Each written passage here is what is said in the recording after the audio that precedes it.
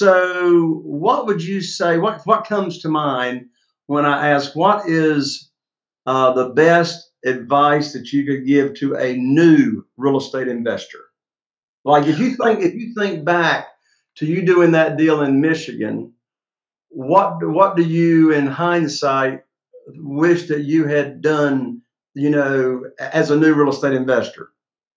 Um, I'm going to say two things, Jay.